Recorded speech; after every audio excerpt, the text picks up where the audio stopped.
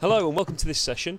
Um, this week's um, uh, podcast is entitled Fibre 101 What Every Broadcast uh, Engineer or Media Technician Needs to Know. And I'm very pleased to be joined by uh, my good friend and industry colleague, Mr. Hugh Waters, who you can see in the, the Skype window above me there.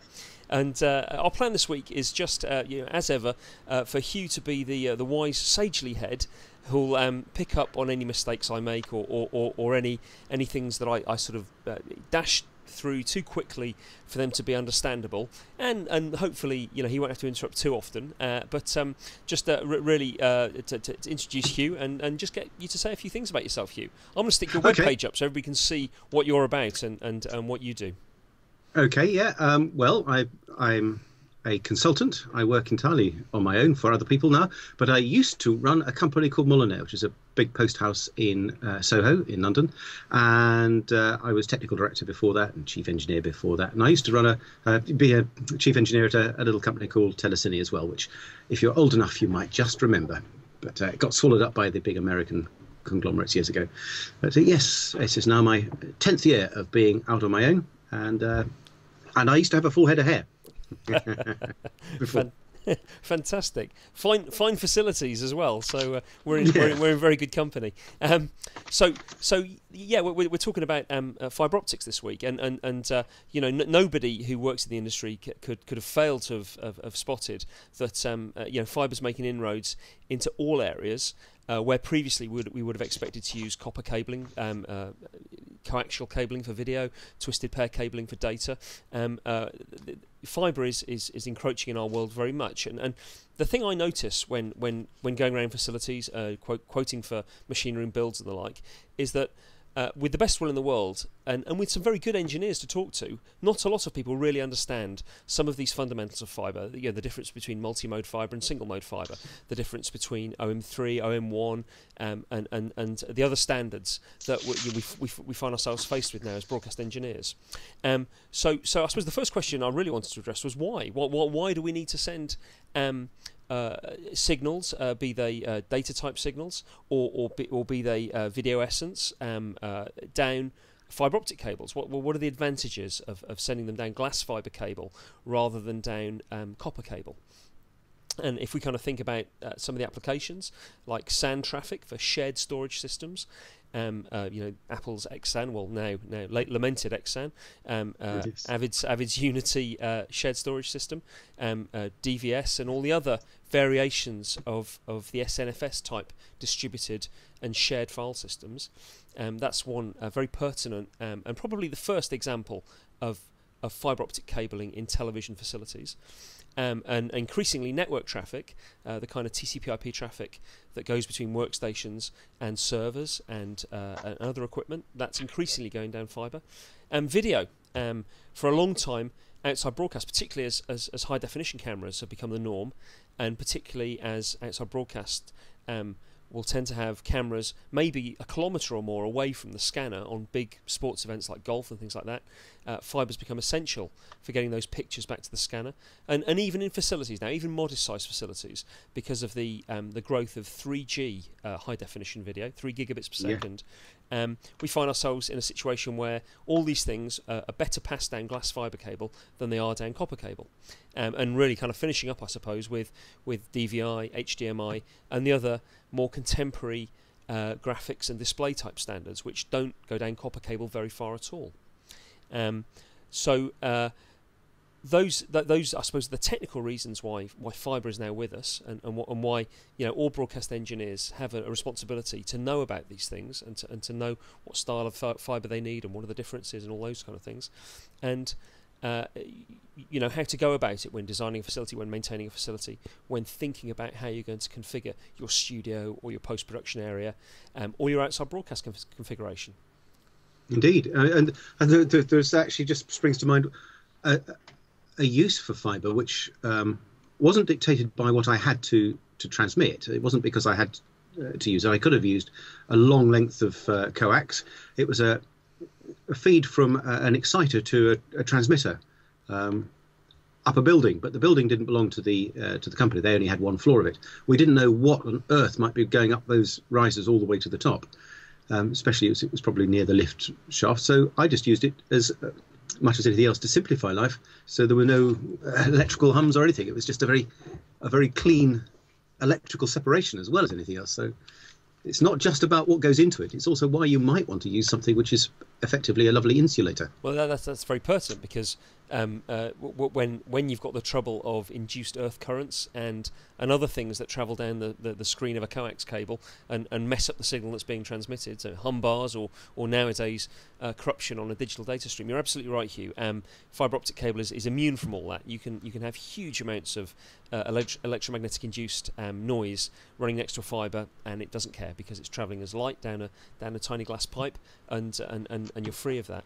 Um, the other thing that, that, that, the other advantage that fibre brings, particularly for people like the defence industry, is it's very hard to intercept um, the signal going down a fibre cable. Um, you don't have to do very much to totally destroy it, and for it to be detectable at either end. So uh, you know that's why the MOD, for example, was a very early adopter of fibre optic technology. Ah, uh, yes, because you know it was ruinously expensive, uh, you know, way back away when in the 70s, and the 80s, and the 90s. Uh, but uh, it suited their purposes because it was almost untappable, and even if it was tapped, it was quite easy to det- detect that the, the, the, cable was being tapped. Um, so I really, I suppose, I wanted to kick off the, the, the, the, sort of the numbers and the nitty gritty detail of, of the fundamental differences between single mode and multi-mode fibre. That's that's an expression that, that uh, you hear. Well, yes. Um, I, I, just thought I I'd dig out my piece of fibre optic, which I don't know what it is. Here it is. Uh, you can probably see there's a, a little spot there. Oh, there's, there's a light going down. That's an ADAT a, cable, isn't it? yeah, it's a little audio cable. I've never actually had two pieces of equipment that need it, but uh, I've got it. well, so what is that? Is that is that going to be multi-mode? Well, it's oh. only got one light pipe, so perhaps it's only single mode. What, what's well, the no, difference? No, no, no. I Tell mean, me. Um, ADAT used for, for, for, for relatively low data rate audio um, uh, data. It's it's basically it's SPDIF going down a fibre. Um, uh, because it has a domestic application, that's actually a, a, plastic cable. It's actually a plastic fibre. It's not an optical, a glass optical fibre at all. Uh, and so they don't go very far, and they don't sustain very high data rates. But for what they're used for, for connecting your AV receiver to your television or your hi-fi amp, they're perfect. You know, but it's just a very low data rate. Typically, I think 2.8 megabits per second, um, and probably the very poor low-end cousin of the kind of fibre we're going to talk about this evening. All right. Off it goes.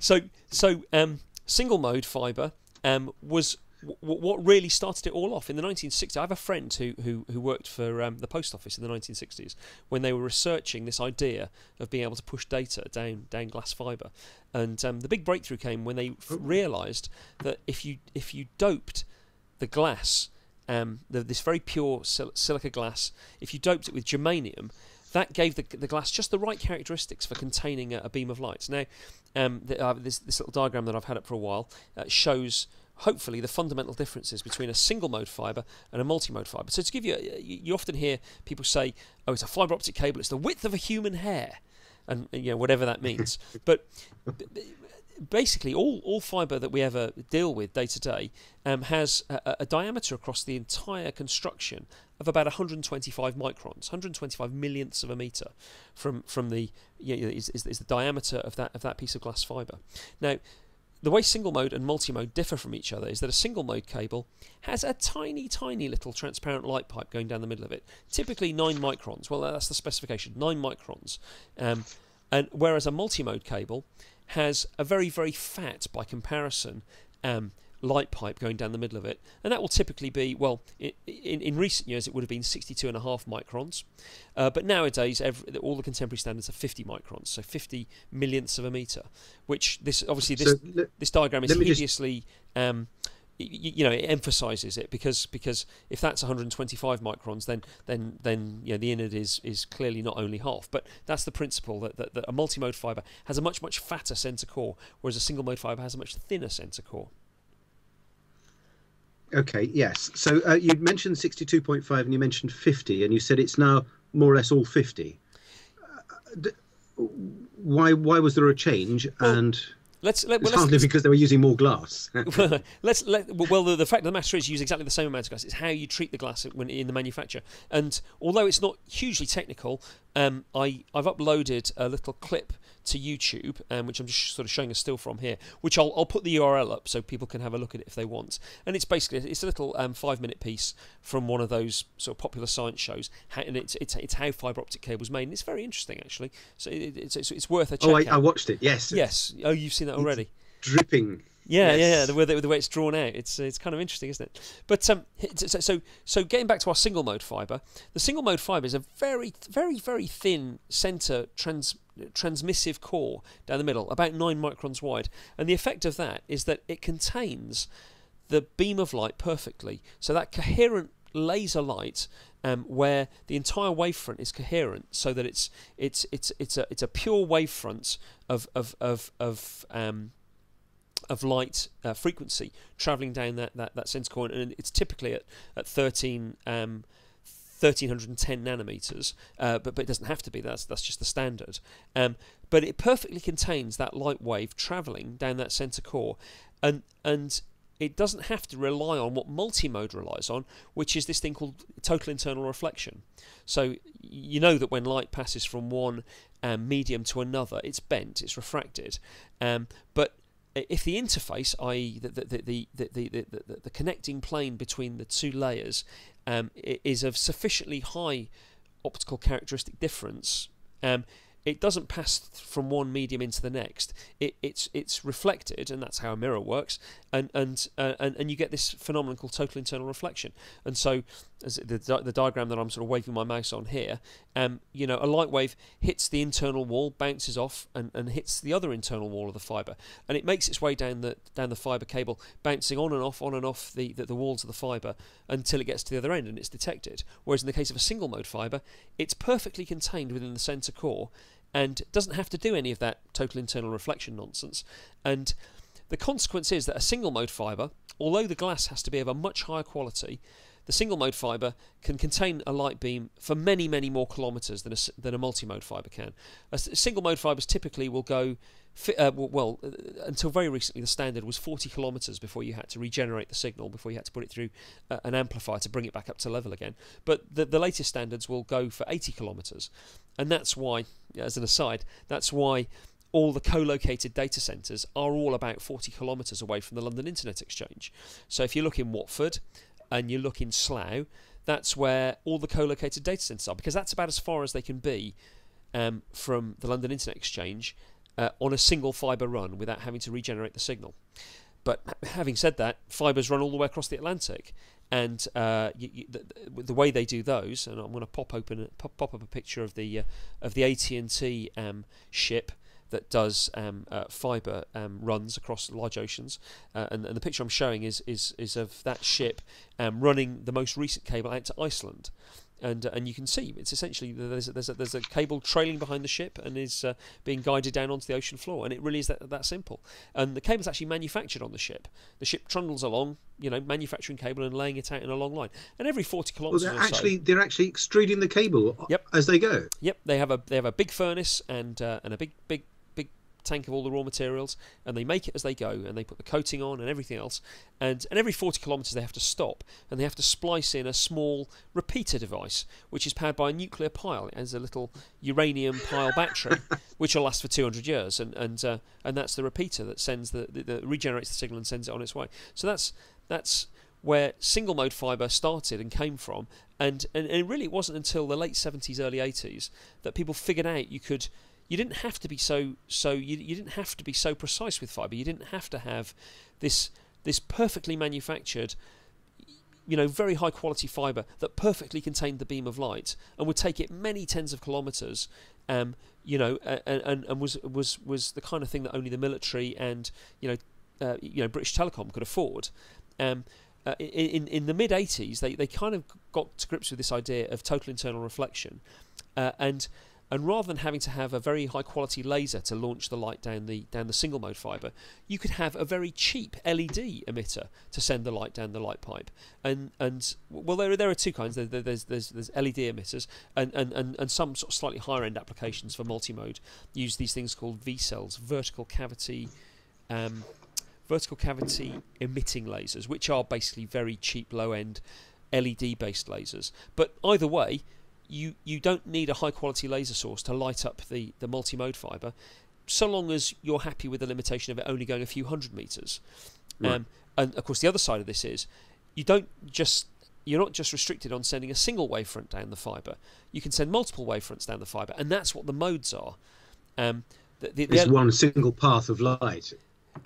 Is a is a mode. Is that is that right? Uh, well, yes. So, so, if you think about your your um, uh, fiber channel adapter in the back of your Avid workstation, which is connected to the shared storage over fiber channel, um, the little LED emitter in there can launch different, s- uh, marginally different wavelengths down the fiber, and of course, as soon as they, they get into the fiber, they're they're travelling um, uh, with slightly different uh, propagation characteristics, and so they'll be bouncing down the fibre quite happily, and they don't particularly interfere with each other. They do a little bit, but you can send you know 16, 32 different light modes down that light pipe, and recover them at the other end. And this is why, as well as now being able to manufacture the cable cheaply and being able to build very modestly priced adapters that can go in the back of a PC and that can cost a couple of hundred dollars rather than many thousands of dollars that a telco would need to launch down a single mode fiber.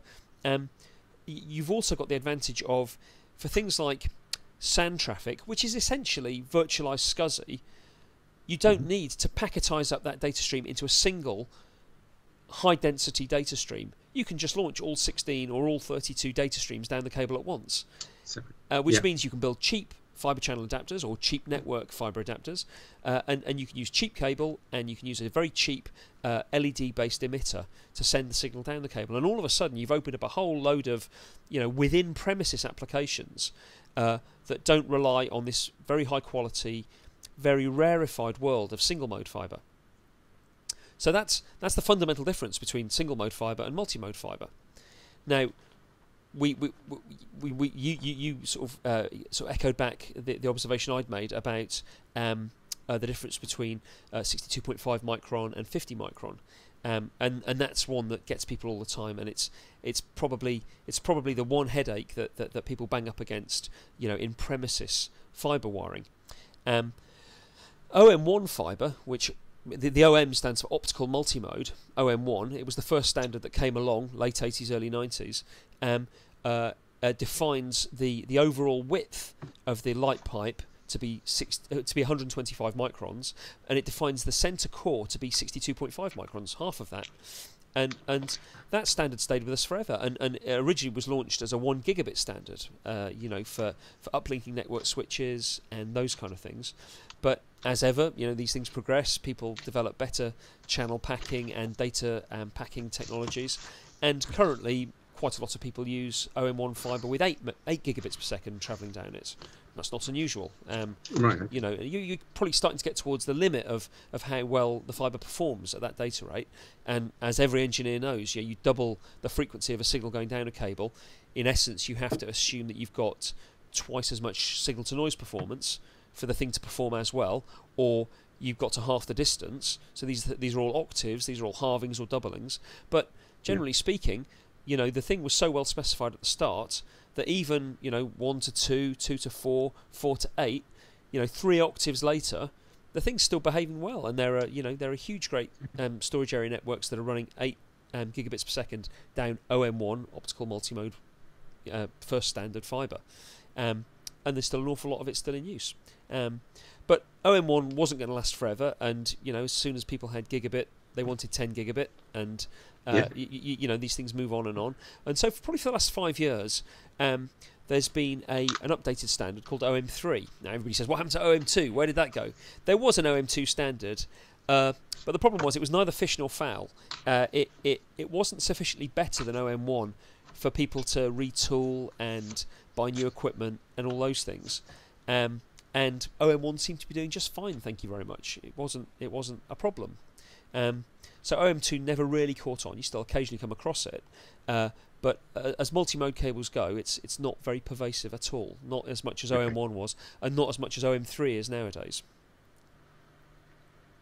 So OM3 is that the 50?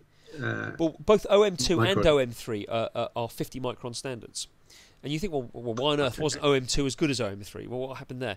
Well, um, the fundamental change between OM2 and OM3 was that OM3 is what they call a laser optimized glass. uh, it's it's a glass that, that's equally well suited to these LED and VCSEL emitters that you find in in, in modestly priced uh, fiber channel adapter cards. Uh, but it's also equally equally well optimized for, for, for laser. So if you do need to launch uh, high frequency, um, high quality data down an OM3 fiber, it's equally well suited. Uh, whereas OM2 wasn't. OM2 was was was VCSEL optimized glass only. Um, so that's why it was never really never really caught on. I've just got up another graphic here showing, uh, uh I suppose, the uh, a similar thing to what we saw first time round, um, except it's a it's a it's a, it's a slightly more uh, enhanced picture of, of, of what the in, the inner cores of the fibre look like. Um, we can see the pure silica core, which is where the, the, the, light travels, and this is true for all standards. For OS1, the single mode fibre that goes a long, long way and is very high quality. It's true for OM1 and OM3, the, the two multi-mode standards we come across, and you can see it's got the, the, there's a, a, silica cladding around that, and then and that, that typically then has a a, a, a, a um, or aluminium uh, buffer jacket around it and that's what the the tiny little hair-like fibre you see when people are preparing fibres and, and things like that.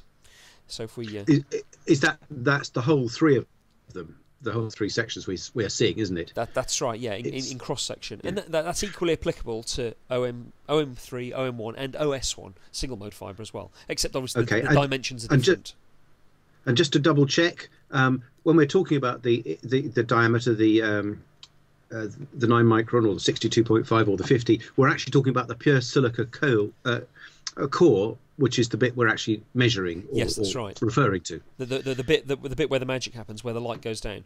The silica cladding yes, well, is, is always yeah. 125 microns. And then you've got some arbitrary amount of, of buffer on top of that, you know, which you know yeah. nobody knows how big that is. so okay. I'm, I'm, just popping up now a, a picture of a, a fiber multi a multi-core cable. Now this is a this is a confusion I often get that that people confuse single mode and multi-mode with single core and multi-core. Um, and it's a you know it's, a, it's, an obvious kind of confusion, I suppose. But uh, the, the, picture we've got up here at the moment shows the typical construction of what we would call a loose tube cable, a loose tube multi-core cable. Now those optical fibres contained in there, they could be single mode or they could be multi-mode. Uh, in fact, there's no way of telling. You, you have to actually look at it down the microscope, or or you kind of hope that it's printed on the jacket of the cable, you know. but uh, we, yeah, we, we've had occasions when that's not the case, and you've had to get the microscope out and have a look. Um, but uh, this this this now brings up another point that's worth making that the fundamental difference between uh, what we call loose tube cable and tight buffered cable, um, because that's another kind of gotcha for engineers. Um, mm. uh, tight buffered cable, and let, let, me find a picture of, uh, of, of a very sort of typical sort of fibre optic patch cord. So I've got a, a I've popped up a picture of a fibre optic patch cord with with the LC style of connector ends, and that's the kind of thing that might get delivered when you've purchased some uh, some fiber based storage. Or, or maybe you've bought a couple of network switches and you need to uplink them and, and, and they're sitting next to each other in the bay. That's that's a very typical kind of fiber optic cable that would either come with the equipment or you'd buy from your you know IT supplier. Uh, and and, and that style of cable is what they call tight buffered cable. It's called tight buffered because the optical cores inside the cable are are are, are adhered um, to the to the inner Kevlar coating, um, and when you bend the cable, you know that the cores inside are bending as well, they're flexing as well. And that cable is easy to manufacture, it's easy to buy ready made pre terminated lengths of it, but to be honest, it's really only useful for um, running between equipment in a cabinet or at most between cabinets in a machine room. It's not man enough to travel down the long distances, you know, through risers, through um, you know un- under you know raised computer floors and things like that. Uh, but you see it an awful lot. You see people, they've managed to find a company that manufactures 50 metre lengths of this stuff and they've bought it and they've pulled it in and it's working today kind of thing. Um, but it's not, it's not ideal. It's not the best solution. Um, and in fact, whenever we use it between cabinets, I've, I've popped up another picture of, of a piece of uh, a Kopex sleeving that's tied into mm-hmm. the side of a cabinet, and that you, you can see coming out of that in grey are some tight buffered fiber optic patch cords, and kind yeah. of that's that's our rule. If we have to run this stuff between cabinets, we run it in protection. If we if it's just being used within a cabinet, um, then uh, you know it's probably safe from damage. But it's not the kind of stuff you should really, you know, in all conscientious you know, be be running between um, rooms or, or up and down risers and stuff like that. And, and now, why is that? Is it because because it's tight bound and you go around corners, you you actually run the risk of fracturing the, the inner core? Exactly. So you, you've you've brought up a very important uh, point. This idea of a minimum bend radius. That Yeah. th- th- this this kind of cable, if you stress it past a certain minimum bend radius, and you can look it up on the manufacturer's website, and they'll tell you don't don't stress it past you know 30 millimeters minimum bend radius or whatever. Then because the internal um, structure of the cable is such that the glass fiber core is adhered to the Kevlar armoring and then to the to the to the PVC jacket. Anything you do to the outside side, the, the outside of the cable is being done to the glass core, and it's quite easy to break the glass core.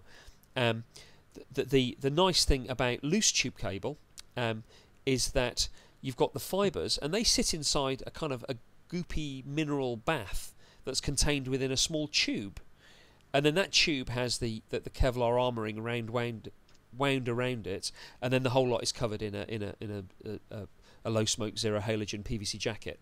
Um, but it's this idea of the fibres sitting in this mineral oil bath, and, and, and you, you know you're aware of it when you chop a piece of this cable to, to start ending it off or whatever. You know this kind of gelatinous stuff bleeds out the end of it, and and and because the fibres sit in that in, in that mineral oil bath, you know if you if you stress the cables, if you bend them round uh, round uh, you know a hard uh, you know bend in a wall or something like that, the fibres inside are able to slip and slide around and and, and, and take up. Uh, you know the, the the best sort of shape to accommodate that very aggressive bend in the cable. So so loose So if you cable. were using the, if you if you're using the um, uh, the, the the tight buffered uh, cable, it's not just the minimum bend radius; it's any tension that you might be putting on it, Exactly. or even compression, I suppose, to Yep. some extent. You could be, but more likely you're going to have problems of compression where you you pull it through a wall or put a bit of extra. Uh, the, the poor old um, optical fibre has nowhere to go. It can just snap or not snap if you're lucky. Yeah, and you, Whereas you, the- you've seen how brutal wiremen can be sometimes. You know, when they're kind of pulling through through risers. You know, they They're put, like a little sweethearts, just in case any are watching. you know they're, they're putting all their weight on it and dragging, it, which is fine for coaxial cable and twisted pair audio cable, etc. But um, but yeah, yeah, a Yeah. tight buffered cable suffers because of that. The nice thing about loose tube cable is it doesn't suffer from any of that, and you know I've seen OB trucks drive over it and it's unaffected. Um, it, re- it really is. You know, it's a tiny bit more expensive than tight buffered cable, but the, the total cost of ownership is tiny because it never fails. Once it's in the building, it never fails. Whereas you know that every single tight buffered long patch cord that's been slung through a facility's ceiling ducts, you know, is is going to fail at some point. It's like a hard disk, you know, it's going to fail at some point. So, Yeah. you know, we, we, we always recommend to people don't don't if you can if you can let us run this cable in, you know, the disadvantages that somebody has to come on site with a machine and terminate it, but but the but but the the advantages of having a cable that you know are going to be reliable for a long time, you kind of can't be overstated. And and increasingly, you know, the, the, the financial model of your facility is on moving data around. It's not on on videotapes and things like that. It's it's it's in the data. So so it's it's well worth spending the money. So I'm, I'm No, just, just again, I just want to um, pick up on that because you've got there is obviously a cost difference between uh, running this cable in. Presumably, um, uh, the the the loose tube is more expensive anyway than the the uh, tight buffered because it's harder to make. But also, you've got to have somebody on on on site. Could I, if I was thinking of, uh, and I, I'm thinking now am I running a facility hat, uh, penny pinching. I've got a project. I'm only going to need it for a short time. If I run it with a tight buffer, I won't need the bloke with a thingy.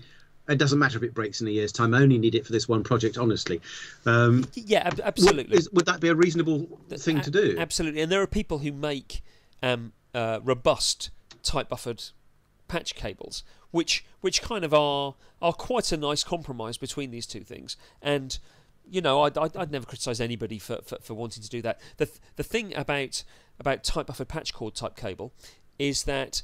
Uh, you know, for a single duplex pair, i.e., two fibres, a transmit and a receive pair, uh, it's cheaper to buy that than it is to buy. Well, you can't buy two core uh, loose tube cable; they don't, just don't manufacture it. But when you get up to 24 cores, uh, that would be quite expensive to buy 24 uh, duplex patch cords and run those in. Uh, you know, by far the cheaper solution there would be, as I've got up on screen at the moment, you can see this is a, a standard LC type patch panel, and it was. It, I took this photo just after the wireman had finished uh, terminating it, and you can see there are two 24 core cables coming in on the on the uh, the top left hand side there through a, through a, a plastic collet, and um, you know, it's all about protecting them, the, the, the, fibres, and making sure they don't get snagged. So, so you can see all these little plastic clips that hold them in place, and you can see uh, that they've been spliced, and there's a couple of splice blocks holding them in place. And then the, the other side of that, the, the, the pre-made, pre-polished, pre-tested pigtails, then take the signal out to the various patch ports, and and once once that's been um, uh, you know secured into its patch panel and, uh, and and mounted in the bay you know, maybe in two comms rooms at, at, two ends of the facility, you know you've got 24 um, duplex circuits there that are ultimately reliable, that are going to be working in 10 years' time, and you can do with whatever you want. You might want to send video down them, you might want to send data down them, you might want to send SAN traffic down them. Uh, but you know, for people building a backbone or building an infrastructure, that's a very uh, sort of compelling argument uh, yeah. about using um, uh, you know loose tube cable. Yeah, and and in fact, again from running facility houses, you know there is no such thing as a, as a temporary short-term installation. if it doesn't actually go up in smoke or or, or get um, disintegrate with, into dust, you will use it again and again. Absolutely, for Book, all sorts. Bookings want that one, and they want another one in double double yeah. quick time. You know, um, so so uh, I suppose so, these these, yeah. these things are really about when you're designing and building a facility. Um, you know, not to not to place a, a, great burden on anybody. Oh no, I, I, I couldn't find a fibre guy with a fibre machine to come and do this. You know, shame on me. I used pre-made cables. Um, that's that's not the intention. But but you know the the the, the better way is is is to do it. You know, at the planning okay. stage. Absolutely. Um. Go on then. You, uh, I, I can feel that you're going to tell me how on earth we connect these things together then. If i'm presumably there's just a, a van load of, of, of, terminating specialists who respond to a, a, an emergency call and they turn up. Well we do quite like a bit of that actually. Although it has to be said once we, we, we i think in in the seven years that we've been doing um, uh, bespoke fibre now I, I think we've had to go back to one or two places. And they're invariably because there was one place we had to go back to where the the the, the, the riser that was carrying the, the, the, loose tube cable up to the edit suite, um, somebody decided to hang a hang a picture, um, uh, uh, and, the, the, riser was flush with the wall, um, and they, so they drove the nail through the riser c- cover cover, and it went straight through our fibre cable, and you can't you can't plan for that, you know that's kind of, and and and um, so it's very rare that we have to go back and repair um, loose tube cable, you know, almost never. I'm just I'm just popping up some pictures at the moment of of um, of you know sort of fibre installs in process, so so yeah. so people get an idea for for you know how these things go in. Um, and at the moment, I've got a picture of a, of an ex colleague up. Um, who's got he's working in a bay he's finishing off a patch panel which you can see he's, he's anchored into the bay and you can see on the on the on the shelf below him um, a fusion splicer and that's the that's the machine we use to put the ends on fibre cables and uh, if I, uh, are you seeing that same picture, Hugh? Of, of, uh, of I am uh, indeed, yes. Of, uh, yes. the mighty Brian Coakley, who, who used to work for me, but ah. now he's off at Prime Focus.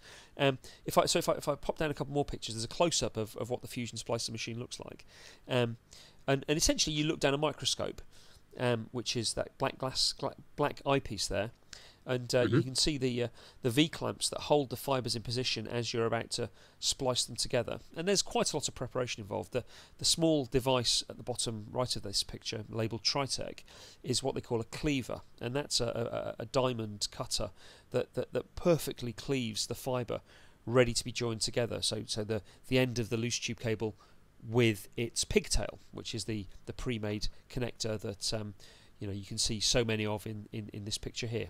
They're, they're yeah. orange ones, so that, that tells me they're OM1 ones. This must be quite an old picture. Um, so so there's the fusion splicer machine. Um, uh, you know, ready to uh, ready to start connecting those things up.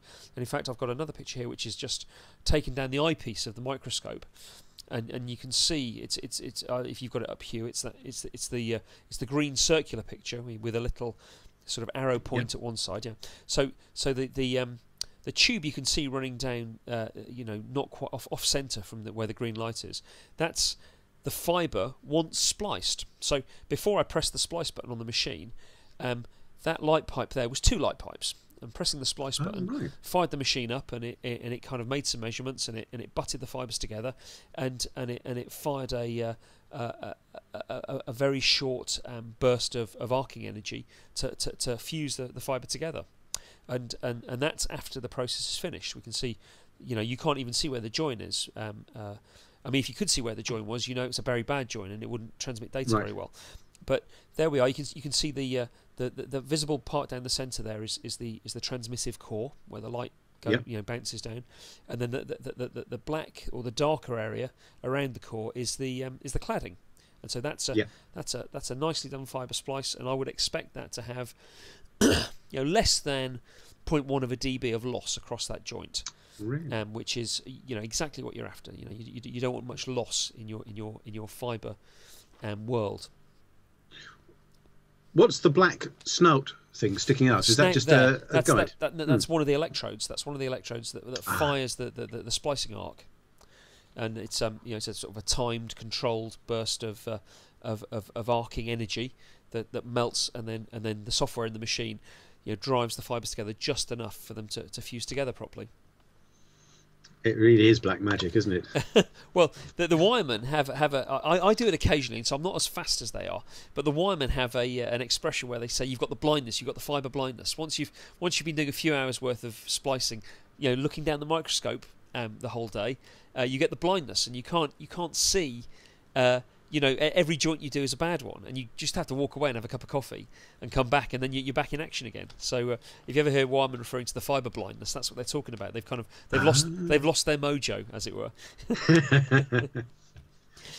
Ah, right. Okay. So, but is that something uh, that um, you know? If I'm working in a, a facility, there's only me, but we have got you know, or a small team. Is it something I could realistically expect to be able to tool up for and do in house? Well, um, sort of six or seven years ago, um, uh, the, the machines were around about the ten thousand pound mark. Um, we have two where I work um, because we have enough work to justify it. I don't know many. I don't know many facilities that own uh, their own fusion splicer. A couple do. I think Molinare have just bought one actually. Um, I think the guys there told me they bought one because they do enough now, um, which means a little bit of our work has just dried up. Um, uh, but um, I think for the most part, you, you know, people are happy to hire in a guy with a machine, and there's a few freelancers who who, who make a good living because they they own a machine. Um, in the last few years, there's been a bit of a, a sea change in the market, and the kinds of machines that we're still using are what's referred to as cladding alignment splicers. So the, the, the, the, the very precise mechanical alignment blocks uh, that bring the fibres together, uh, they align the fibres based on the on the, on the diameter of the cladding. Um, Yeah. And if you had a badly manufactured fibre where the transmissive core through the middle of the fibre wasn't wasn't exactly in the centre, you'd get a bad joint every time.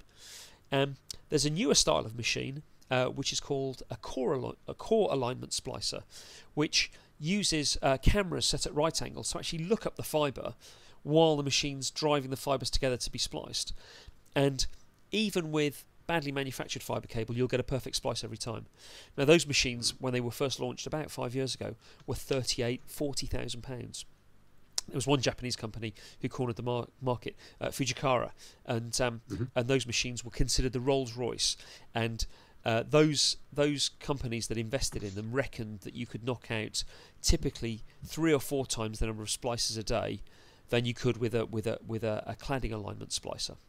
Um, but cladding alignment splicers have fallen in price. They're they're, they're around about the three thousand pound mark now for a, you know a, a, a, a, good known branded one like a Tritech or something like that. And uh, and core alignment splicers have fallen down below the ten grand mark as well. So it's all becoming a lot more affordable. And although it's probably still out of the reach, or still out of the sensible reach of most facilities engineering departments, um, you know, it's it's. I know several freelancers who own their own equipment now.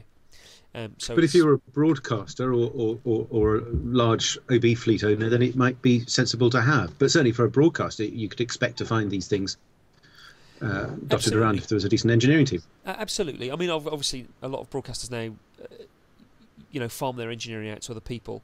But you'd expect kind of Siemens in-house team to, to own, you know, one or many.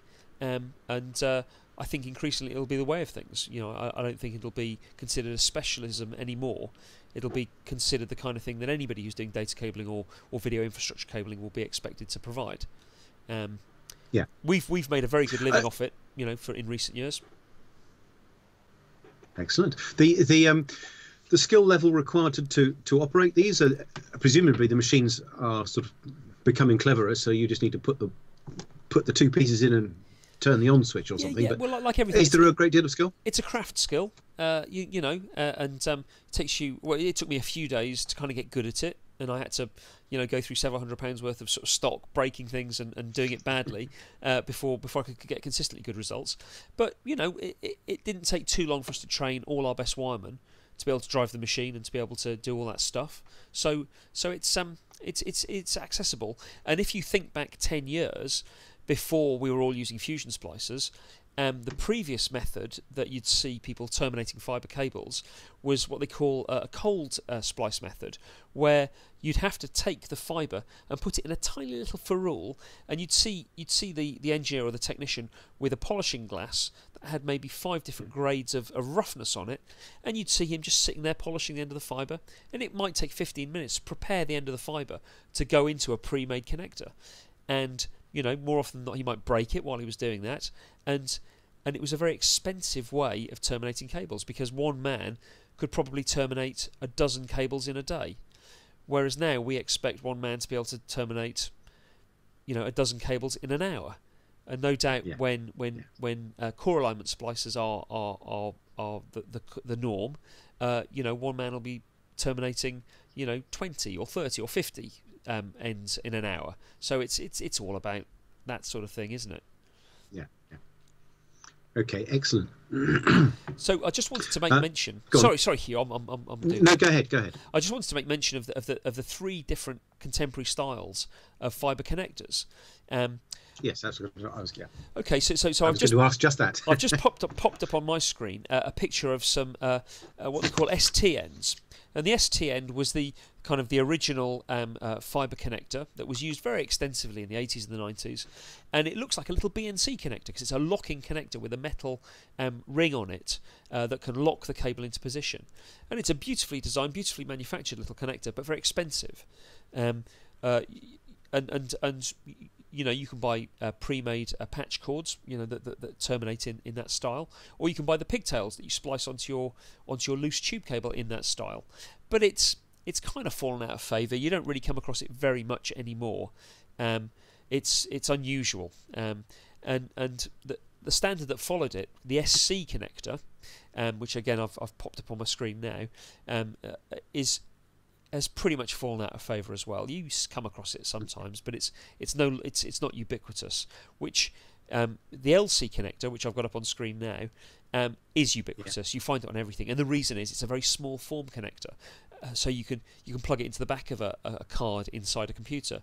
You know, it, it fits into the same space um, uh, on a on the front of a network switch that an Ethernet cable can plug into. It, it doesn't require a large amount of backplane space. It doesn't require a large amount of front panel space on a piece of equipment, and uh, you know it's it's used for both single mode and multi mode. In fact, all three styles of connectors have been used for single mode and multi mode cable, um, uh, and uh, and and as I say, it's ubiquitous. It's the one you see everywhere. It's used for pretty much everything nowadays. And if I scroll back up and pop up um, the picture of, of, of one of those uh, fibre patch panels as they're being manufactured, as they're being prepared and terminated. Um, uh, that there, there. So that's a 24-way um, LC panel, and uh, you know, for every for every 20 24-way LC panels we install, we probably install one of the other kind. The, the, you know, it's it's it's everywhere. The other thing that's worth mentioning is um, uh, you do have to deal with patch cords, of course. Uh, having sort of bad mouthed long patch cords and you shouldn't use them and blah blah blah. Of course, if you're connecting two pieces of equipment together within a cabinet, that's what's needed.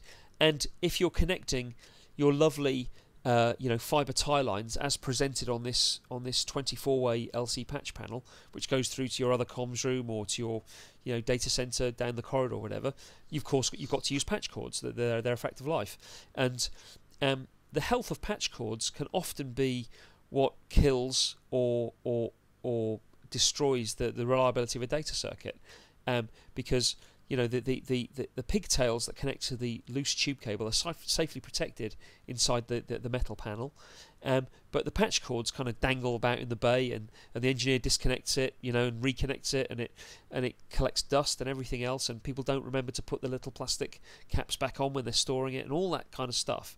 And so, um, well, here's a, a, a handheld um, uh, fiber microscope for inspecting the ends of patch cords.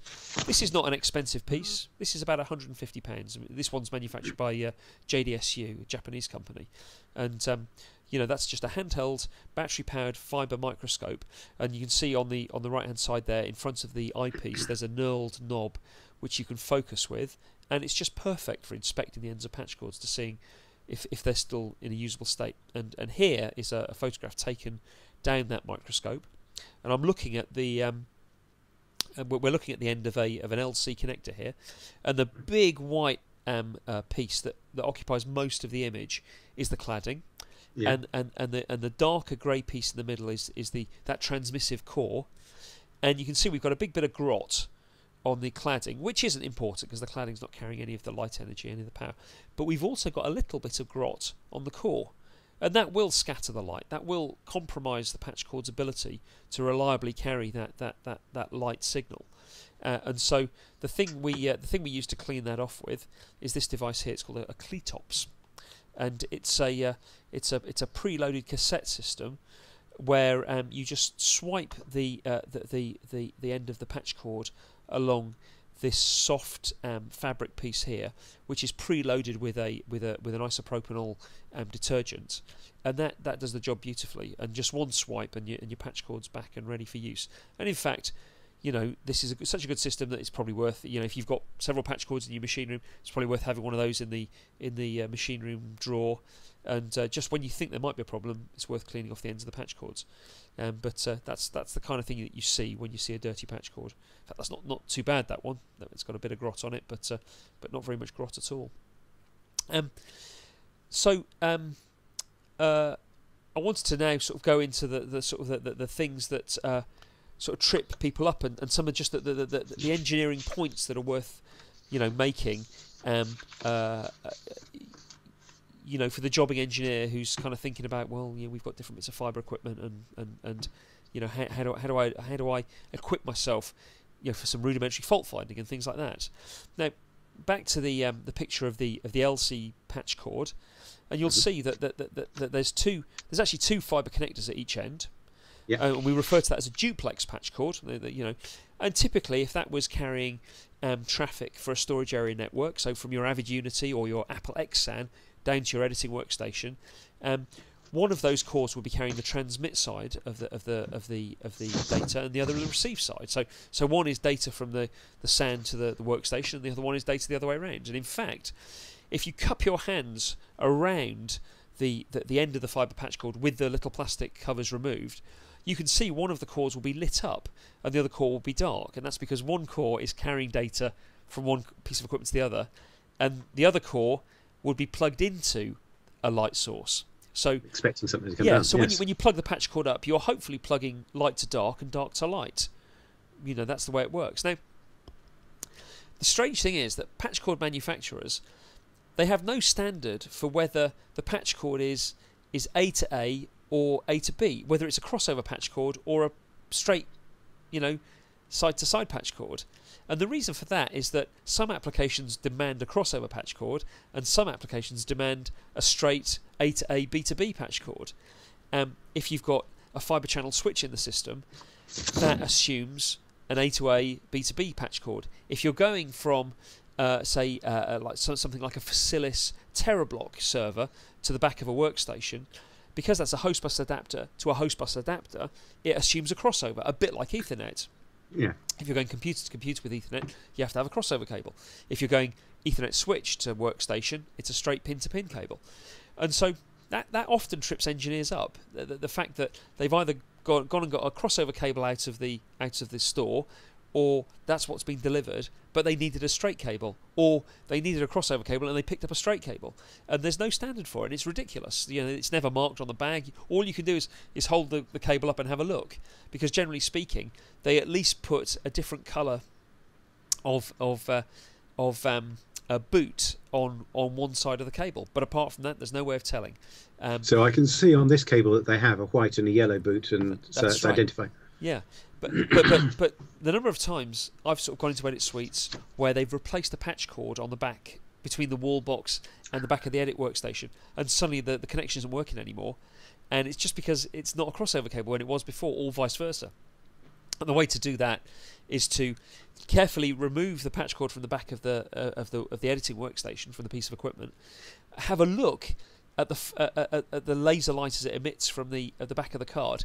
Cup your hand around the the, the uh, patch cord that you've got, and just see: are, am I plugging light to light or light to dark? Because I really want yeah. to be plugging light to dark. now, if you find you've you've got the wrong kind of patch cord, not all is lost, um, because the the little retaining piece um, that holds the two LC connectors to to each other is very easy to is easy to separate, and it's easy to take them apart, swap them around the other way, and put them back together again. Oh, most, oh right. Okay. Most engineers don't bother to put the retaining piece back on again. They just now have two flappy loose ends of, of LC, but at least they can now very quickly plug light to dark and dark to light on the back of their piece of equipment, and they're back up and running again. So that's the first kind of gotcha that that a jobbing engineer should be aware of. That, that not all patch cords are created equal. Very interesting. The, the next thing to be aware of is you can't mix and match um, different standards of fibre. Um, obviously, single mode and multi mode operate in entirely different ways. You know, single mode uses that well-contained beam that goes down the centre of the core. Multi-mode uses the total internal reflection, where the light waves bounce down the internal walls of the fibre. So they don't work together. But more than that, you can't mix and match sing, uh, OM1 62.5 micron fibre with OM3 because when you plug the OM1 patch cord into the OM3 jack field or vice versa, you've got core sizes that are different, and so that total internal reflection as it passes through into the patch cord, an awful lot of the light disappears. You know, out of the out of the yeah. bits of glass that weren't matched together, and you typically get two and a half dBs of loss every time you do that. Wow. Okay. So if you had very very low data rate traffic, like a one gigabit connection, you could get away with that once. You could do that once. You could use one wrong patch cord, and you might still be getting a decent data stream. But for anything more elaborate than that, you can't mix and match OM3 and OM1 uh, infrastructure. And so, generally speaking, whenever you go into a facility and you're having to add fibre, the first question is to ask the chief engineer: Are you an OM1 or an OM3 house? What what is your fibre standard? Um, and hopefully, if they've kind of got mixed standards, they know exactly where they are, and they're using them for different things because you can't mix and match OM3 and OM1 patch cords with OM1 and OM3 infrastructure cabling. Now, supposing um, somebody doesn't know what the cables are, is there a way of identifying them? Is there a way of noticing which is OM1 which is OM3? Well, uh, pretty much patch cords are, are, normally labelled, and they might be labelled OM1 or OM3. Uh, or, or, or, they might be labelled 62.5 stroke 125 for OM1, 62.5 yep. microns for the core, or for OM3, 50 stroke 125. Um, and there's some standardisation on colour. So OM1 pretty much for a long time was orange cable. Yeah. Uh, OM3 was was uh, a, a, cyan cable, uh, kind of a, a, nice blue cable, and OS1 yeah. single mode cable is the yellow cable, which I've just popped up on screen there. Although yeah. that's by no means uh, consistent, and you come across grey patch cords of all three standards, and you come across um, orange patch cords of the OM3 standard. So that's it's not reliable. The best thing to do is go and look at the the, the, the writing on the jacket, and and it'll either say 50 stroke 125 or it'll say OM3. That's one standard, or it'll say 62.5 stroke 125 or OM1. That's the other standard, and you can't mix and match. If you uh, are still not sure, can you check it out with a microscope? Um, well, you can put your fibre microscope to it and you can tell, for example, that the, the, image that we popped up earlier to show the bit of grot on the end of the fibre cable. Yeah. Um, that's we can, we can tell by visual inspection that that's OM3 because the the 50 micron core is quite obviously smaller than half of the size yeah. of the cladding, and a 62.5 micron core would be noticeably bigger than that. Yeah. Um, so that's that's one way of doing it. You know, if you're in the habit of carrying one of these lovely microscopes around with you. okay. So that's so, go on. that's gotcha number two. Don't mix and match your standards. Absolutely, and uh, yes, and if you're not sure, um, get somebody with a microscope. And if you're still not sure, I suppose the best thing you can do is fire some uh, some light down it and measure what comes out at the end. Yes, indeed. Yeah, use it using using a, a, a, a, an optical response tester, which is not an expensive piece of equipment. Typically, well, it's five hundred pounds, so a bit more than your multimeter, but but um, you you know, again, it's uh, well, it's an awful lot more expensive than just throwing that patch cord away and buying another one that's got the correct lettering on it. Um, yeah. But uh, you, you, know, um, and gotcha number three is is is diagnosing faulty cables.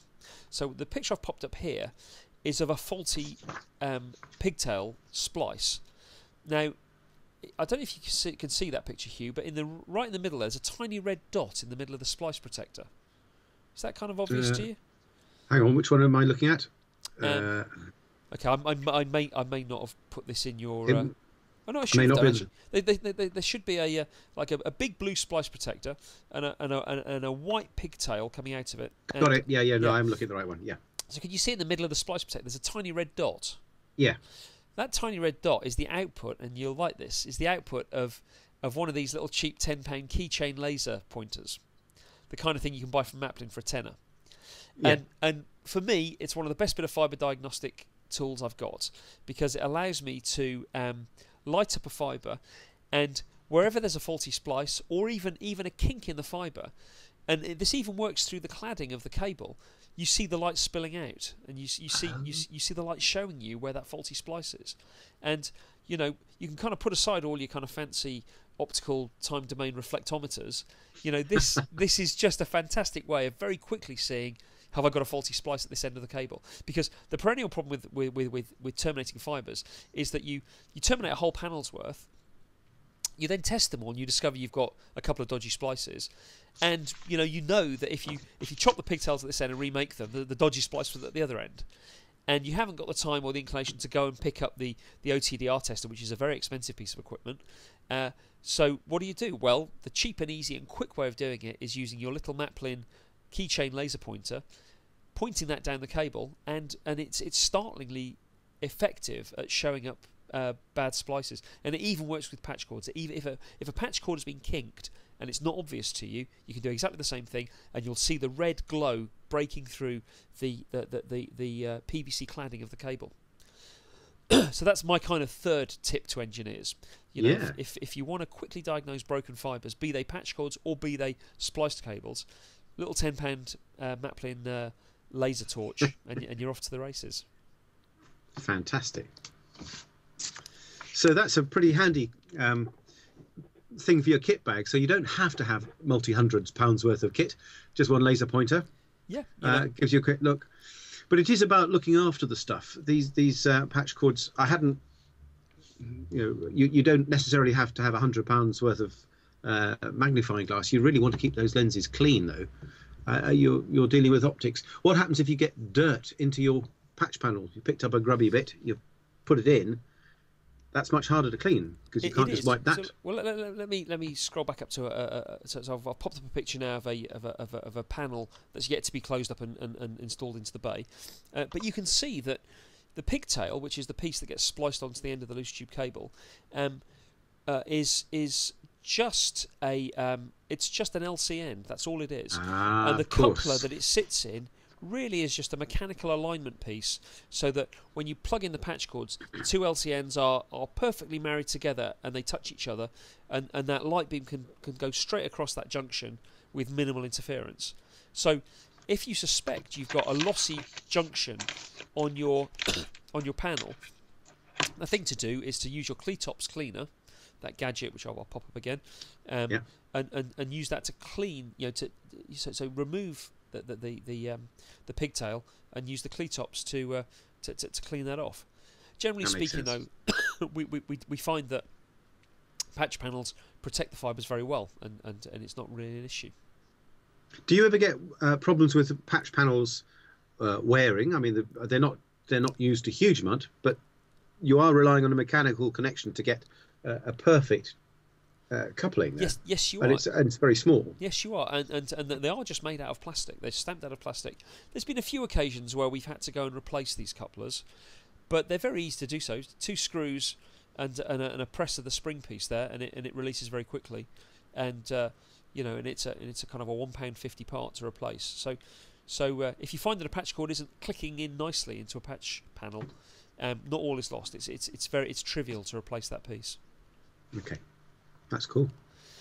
Um, there was only one more thing I wanted to talk about, Hugh, um, and, and that's sort of some some of the things that are coming down the pipe in terms of, of the future. And, and Yeah. the big development in, in multi-mode technology is is this thing called uh, graded index fiber.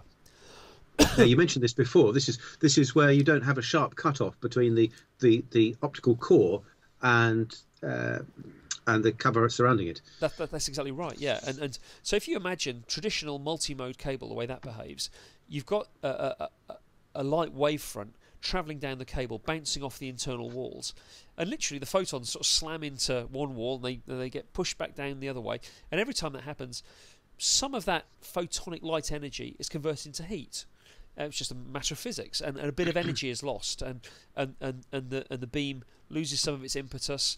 And were you to analyse the the, the, the, the rising and falling edge of the data as they came out the cable at the other end, the the edge is getting a bit smeary and a bit a bit less reliable. And by the time you get to 500 meters, you know you can't really reclock that edge. You can't really recover the data. Uh, and it's all down to the fact that the, the beam is losing energy as it slams into the walls of the fibre, making its way down the cable. So the thinking is if you could make uh, uh, the core not of a consistent optical characteristic but of a variable optical characteristic such that the beam didn't follow that that sort of sawtooth pattern Mhm. but was slowed gracefully into the into the cladding wall and, and, and, and bent off as a sine wave which is a very natural very energy efficient shape and if you can do that, so you get the beam travelling down as a wave rather than slamming into the wall, slamming into the next wall, slamming into the wall, losing energy at every transition, you can minimise that loss of energy in the walls of the of the internal transmissive core to the degree that you know cable that could carry the, the, the signal maybe 500 meters can now do several kilometers and you're starting to get into the, the province of, of single mode cable but with all the advantages all the benefits of multi-mode cable. Um, so although graded index fiber isn't really with us yet, it will be very soon. Uh, the, the standards are sort of being ratified, and, and equipment manufacturers are all kind of lining up to produce equipment that supports it. So graded index fiber will, will you, you know, is, is the next thing you know coming down the pipe. And is that likely to be 50 micron as well? So it'll work with the patch panels. I'm not sure. In all likelihood, yes, um, but uh, undoubtedly the outer core will be 125 microns. That's what governs, you know, how all this stuff works. Uh, but I don't know whether the inner core will be a 50 micron core, whether it'll be smaller. Don't, I don't know. Presumably, it's all to do with the manufacturing process and how reliable they can make it for given core sizes. Um, Yeah. But uh, but but uh, no, we'll have to wait and see for that. I mean, it's a, it's an interesting interesting times to, uh, to to be in for sure. Yeah. So it's not to be it's it's not something that's to be frightened about. Um, using fibre is um, obviously it's something you can't really avoid now. We're shifting large amounts of data. You can't do it over copper efficiently. You are going to have to use fibre. Um, you may have to get to know your local man with a splicer. Um, but apart from that, and having to go to the bar with him just to keep him sweet, Phil, um, uh, the, the, the, the key things to remember really are um, when you're specking uh, the stuff, try and go for loose tube, not tight buffered. Um, uh, you're going to be with OM3 anyway, so that's not a problem. But do check before you go into uh, uh, connecting up your old fiber with your new what you are connecting because you're going to lose an awful lot of information. Well, it's just not going to work really there. And is there a way of looking at it and saying, is this loose tube, is this tight buffered? If if you've inherited an installation where somebody has has used tight buffered and you don't want it, how would you know by looking at it? Well, t- t- tight buffer cable looks very much like a patch cord. So oh, it's fair enough. Of course, it does. Yes. you know, it, the, the the construction is, is different, um, and whereas loose tube cable actually looks like a bit of Cat five. It, it, it looks like a, just a regular bit of data cable, and and the, the nice thing about loose tube cable, and I think I alluded to it earlier, is that you know you can buy it with just four cores, or you can buy it with forty eight cores, and it's no Yeah. bigger. So so if you've got to run, if you've got to run forty eight cores, i.e. i.e. a set of twenty four pair duplex pairs for two 24 way patch panels, that's just Yeah. a single cable run. Uh, you know, try doing that in tight buffer cable. You know, that's that, that would be Yeah. that would be 24 cables you'd have to pull through the duct, and how many of those would work by the time you got to the other end? So, so fibre is a y- y- and, and and the step change in cost between a four core cable and a 48 core cable is maybe twice as much. It's not it's not an order of magnitude. You know, So if you're planning an installation, definitely go for more. Absolutely. Silly not to, really. So I mean, just just, I suppose by, by way of a, a sort of a little sort of story to finish. Um, uh, we were doing a build last year, and uh, we discovered that our supplier had supplied, or they, they'd run out of eight core fibre, which was the the, the, the fibre we'd specified for all the edit suites. But they let us have 24 core fibre for a tiny bit more, and we didn't think twice about running 24 core fibre into all the edit suites, even though they will never in a month of Sundays use 24 cores. But, yeah, we left 16 of the cores fallow in the wall box, unterminated. And yeah. uh, you know, if their chief engineer ever comes to me and says, "Oh, Phil, I need to get some more fibres into Edit 3," I'll go, "Let me tell you something." Um, you know, and it's just it's not a problem to run more cores, and we we normally run more cores, we've even told the customer that we run because yeah. you know when they come back to you in a year's time, it's it's trivial to go and re-terminate some more fibres. Yeah. You know, compared to the cost of getting a guy in and getting the ceiling down or getting the floor up and all that nonsense. Fantastic. It's really interesting, and uh, and it's not as scary as as you might have thought if you're a, a copperhead like I once was. Absolutely. I mean, you know, uh, I, I think there is less complexity in all this stuff than there is in the subtle differences between different kinds of copper cable, and you know, I think I think the skills are very comparable, and I think it's. I would I encourage all engineers to kind of get their head into this because if you don't have to this month, you, you know, you're kind of lucky. It's it's yeah. it's going to be on us all soon. Well, most interesting. That fantastic. Thank you. Jolly good. Well, thank you, Hugh. I'm going to pop your uh, your website back up again, and uh, and and say that uh, uh you know I'll, I'll put a, a, lower third on showing your uh, your Twitter address, and I'm popping up my website, my uh, my technical blog, which is all this nonsense. You can find all that there as well, and and just say thank you very much, Hugh. Again, it's been a it's been a pleasure, and we'll do it again soon. Yeah, looking forward to the next one. Jolly good. Catch thank you later. Bye bye. Bye bye.